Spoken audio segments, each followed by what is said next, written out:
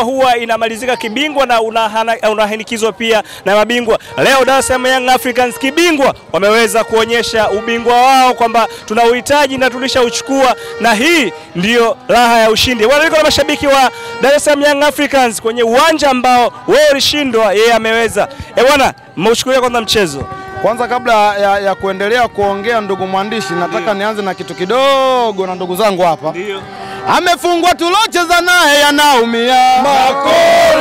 Amefungwa tulocheza naye yanaumia makolo. Amefungwa tulocheza naye yanaumia makolo.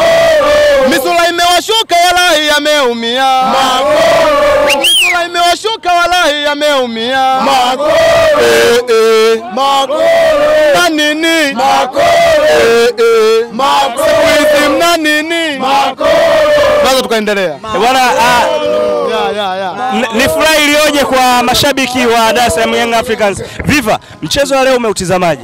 Mchezo wa leo kwanza, napenda kwanza kumshukuru Mungu. yeah. Mchezo umeisha salama, wachezaji wameweza kupambana kadiri ya uwezo wao, yeah. hakuna aliyepata injury, hakuna aliyepata matatizo yote ya kiafya. nah. Kwa hilo tunamshukuru kwanza Mwenyezi Mungu kabla ya yote. Na leo ni kama uh, Salum Abubakar Shuaboy amezaliwa upya, ameweza kulimiliki vizuri kabisa dimba. Unazungumziaje uh, kiwango cha leo ambacho amekionyesha Abubakar uh, Shuaboy? Mimi kwanza nilikuwa nawaambia hata, hata wakati tupo njiani, ndugu zangu wanayanga wenzangu, nilikuwa nawaambia jamani, natamani sana leo Nabi ajilipue. Unajua maana ya kujilipua? Ajilipue vipi? Kwa sababu tushazoea kama, kama, kama endapo beki hayupo, yani aidha labda kwa mfano Jobo hayupo au Juma Shabani hayupo, kwa kiungo kinapanguka, anaanza anaanza Mauya na nani na Aucho. Yeah.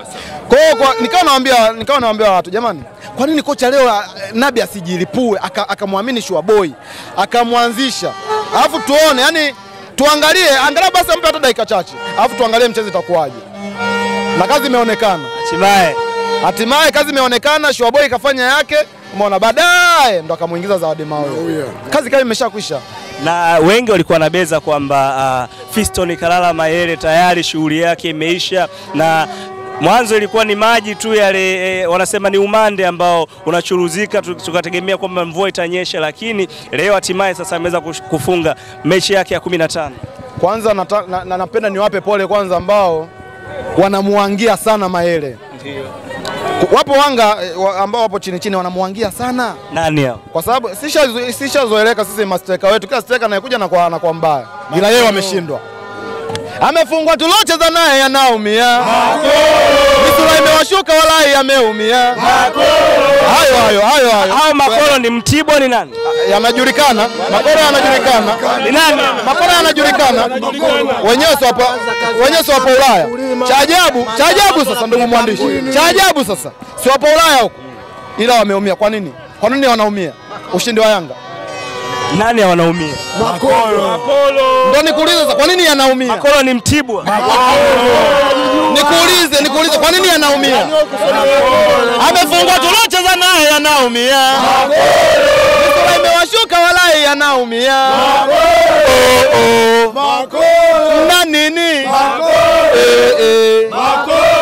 Wanajiongelesha makolo kila sehemu, lawama kibao wakimlaumu jesemu, wanaweweseka bosi mdi kwenye ili gemu. Uh, unadhani labda leo Yanga uh, alimuweza wapi Mtibwa? Kwa maana tunajua mtani alikuja katika uwanja huu huu na akaambulia sare, lakini leo Dar es Salaam Young Africans mweza kuondoka na alama zote tatu na magoli. uzuri wa Yanga umeona, kuna muda kuna muda nilikuwa nawasifia sana Mtibwa kipindi cha, cha, cha mwanzoni mwanzoni. Waliweza kuperform vizuri yani mpaka ikafika ikafika stage viongo wetu wakawa waonekane pale, niliwasifu sana. Uzuri wa Yanga ya sasa hivi, Yanga ya sasa hivi bwana ni bora, ukiiweza katikati pembeni itakuua, ukiiweza pembeni katikati itakuua.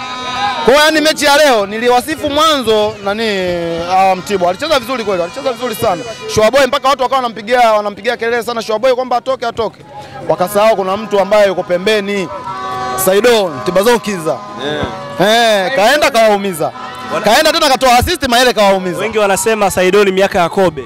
Ah, utu uzima dawa babu, utuzima dawa. Wewe mwenyewe umeona kazi Aliumia lakini akaendelea. yule bwana yule. Alafu nilikuwa nawaambia tena kitu kingine, jamani, ogopa mtu ambaye kaumia alafu akawekwa ogopa sana na timu ya hivyo. Ukiona mchezaji ukiona mchezaji kanani ka- kanani hivyo katoa damu, ujue matokeo yanapatikana, na uliona pale pale alivyo nani, afu yeye mwenyewe ndo kaja kuweka goli. Unadhani labda Young Africans kwenye benchi la ufundi wa, walijiza titi? Kwa maana tunajua uwanja huu ukiwa njiani, kabla hujafika utaambiwa uwanja umejaa, uwanja umefurika maji na nini. Wengine wengine wakasema JSM aliagiza magodoro kwa ajili ya kuja kufyonza ah, maji kwenye uwanja huu.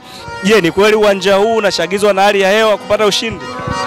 Ujue kwanza kwanza na, na, na, napenda kushukuru napenda kushukuru Mwenyezi Mungu leo hajaweza kushusha mvua. Ujue siku zote mvua kama kama kama ikinyesha huwaga inaharibu mchezo kwa wote, sio kwamba kwa Yanga tu, hata kwa Mtibwa wenyewe. Mtibwa wenyewe kwani watafute matokeo, wanatafuta alama tatu, lakini wangeingia wenyewe kupata matokeo, lakini mvua ingesababisha wasifanyeje, wasipate matokeo, kwa sababu inakuwa ni piga ni kupiga, mpira unakuwa uone. Lakini Mwenyezi Mungu kasaidia, kama unavyoona magodoro tumeleta kweli, magodoro chapa GSM tumeweka pale, tumekamua kamua maji, kwa sababu kimvua kilinyesha nyesha asubuhi asubuhi kidogo, uwanja ukawa kama kidogo umeloa loa, tukaleta magodoro yetu ya chapa GSM tukaweka pale, pale tukakamua tukakamua, picha likawa zuri. Hivi Faridi acheza namba ngapi? Wengi hawajui, ni kiungo, ni beki, ni mshambuliaji au ni nani? Faridi bwana, mimi mwenyewe yule pale, yaani sasa hivi tu sijui nimuite kinyonga. Kuna kauli ambayo waga watu wamezoea kusema kwamba kiraka, Yule jamaa sio kilaka, yule ni kinyonga. Yaani yeye, yaani popote tu anabadilika. Yaani ukimweka popote tu yule jamaa anacheza. Yaani yule jamaa, yaani popote umweke hapa anacheza, umweke hapa anacheza. Hata hata ukimwangalia hata kimchezeshaga Nabi Kati. Muda mwingine anakuta yupo namba nane anaperform vizuri, muda mwingine anacheza namba kumi anaperform vizuri, lakini sasa hivi umeona majeruhi akina Yasin Mustafa. Yasin Mustafa kwanza alikuwepo sabu, lakini unaona alichokifanya Nabi, ka- kamwamini Faridi, kamwanzisha Yasin Mustafa, kafanyaje mwenye namba yake kaka, kaka bench na nani na, na mchezo umeona kacheza vizuri fresh.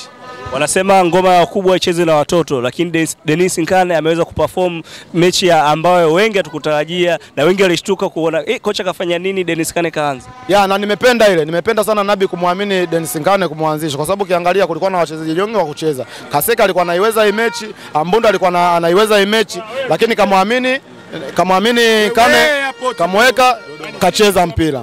Hicho kwanza napenda kum, kumpongeza sana Nabi, kwa sababu ile inamuongezea kidogo nani confidence nani Dennis Nkane mwenyewe kujiamini, kuwa na, na hali ya mchezo na mpira kaucheza umeonekana. Na unawaambia nini na mashabiki wa Dar es Salaam Young Africans na wapenzi wa soka? Kabla ya kuambia kwanza mashabiki wa Yanga, napenda kwanza niwaambie Makolo. Makolo yanajijua, mimi sina hata haja ya kutaja. Makolo yanajijua, waendelee kuhesabu zimebakia pointi ngapi, alafu nirudi kwa mashabiki wenzangu wa Yanga. Cha kwanza leo usiku huu naachia goma. Goma hili hapa ambalo mmemaliza kulisikia kwa sasa hivi, amefungwa tulocheza naye yanaumia, amefungwa Mtibwa cha ajabu yanaumia. Goma hilo hapo naliachia muda si mrefu, yani navyotoka hapa Manungu, Manungu Stadium Complex. Hapa hapa, natoka hapa nikifika tu nani tulipofikia hoteli, kwa sababu tumefikia. Unajua mashabiki wa Yanga si ni tofauti na mashabiki wa wenzetu, si wenzetu wanafikiaga sio sio guest, sio na- nasikiaga Nasikia wanalala kwenye magari. Ehe, wengine kwenye magari, wengine sio guest za, za elfu kumi kumi, sio elfu ishirini ishirini. Sisi tunafikiaga hoteli. Yanga inapofikia, yani kama unavyoona Yanga hoteli inayofikia, wenyewe wanakuwa wapo juu, sisi tupo chini. Ndo hadhi ya mashabiki wa Yanga. Nashukuru sana. Asante.